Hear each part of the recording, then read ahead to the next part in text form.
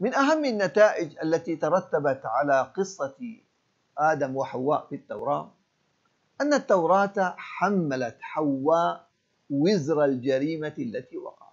القرآن حينما تحدث عن هذا الموضوع قال وعصى آدم ربه فغوى فجعله هو المسؤول الأول عن هذه المعصية مع أنه ارتكبها هو وحواء. وليس فيه أن حواء هي التي أكلت وهي التي أعطت. ماذا تقول التوراة؟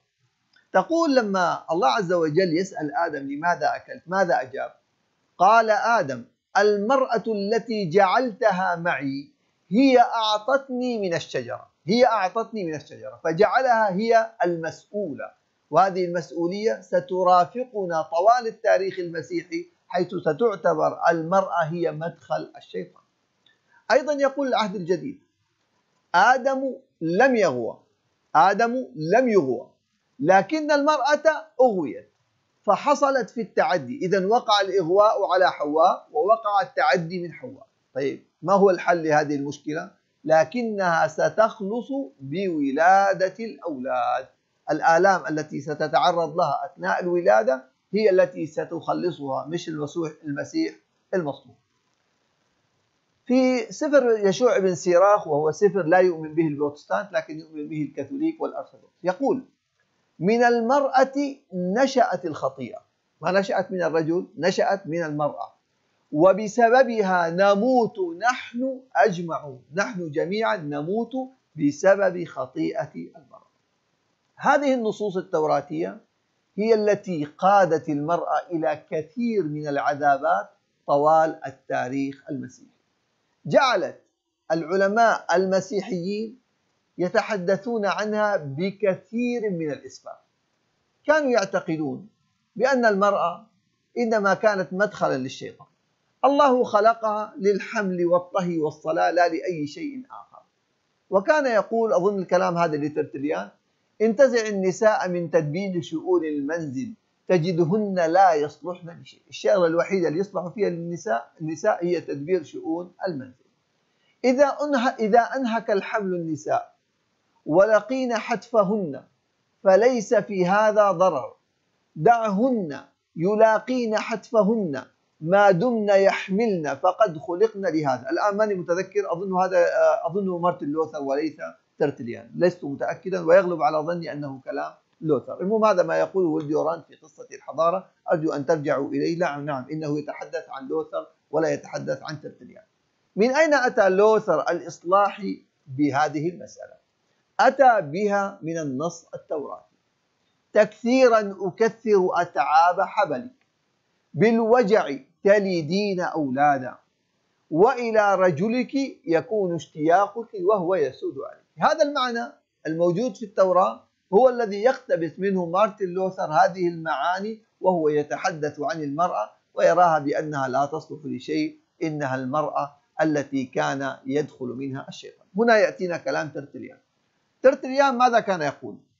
كان يخاطب المرأة بأوقح الألفاظ ويصفها بأنها الباب الذي يدخل منه الشيطان ويقول لها من أجلك مات يسوع ما سبب موت يسوع؟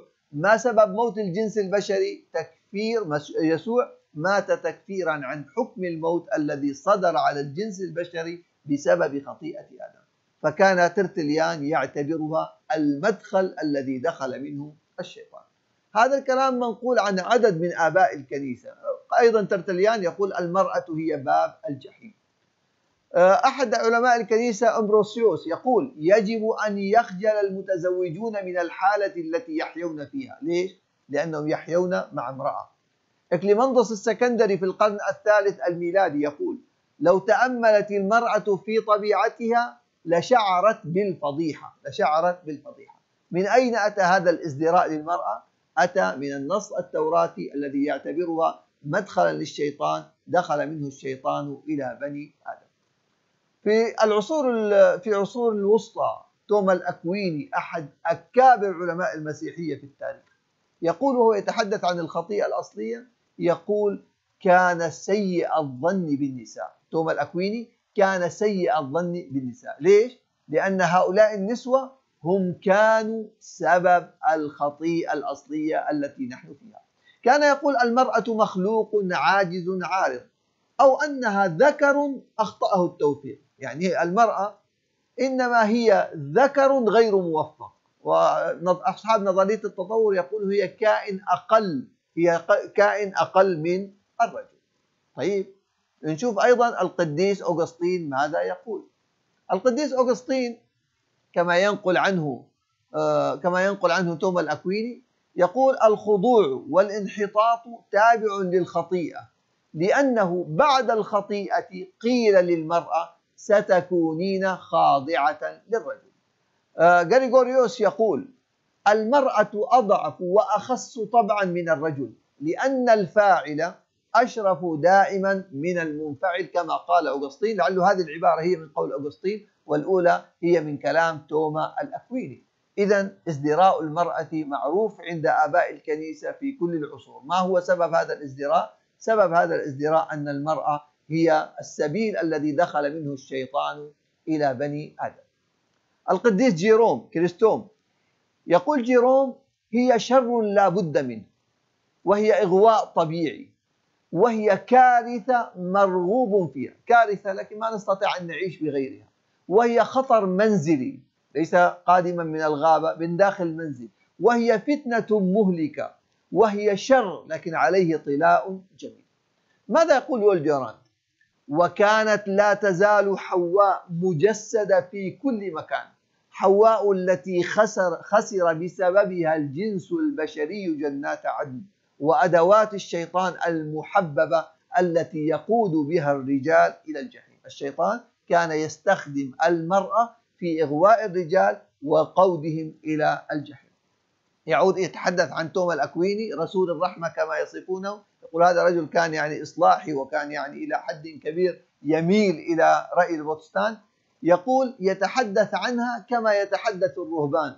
فينزلها في بعض النواحي منزلة أقل من الرقيق. كانت المرأة تعتبر أقل من الرقيق. ليش؟ لأن الشيطان دخل إلى البني إلى الجنس البشري وأغواه عن طريق هذه المرأة.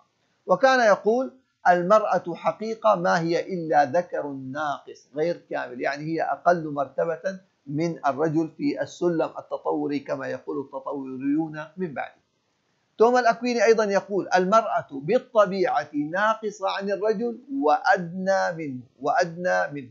وهكذا كان المعلمون يقولون جميعا كل هذا كان ناتجا عن الخطيئة الأصلية.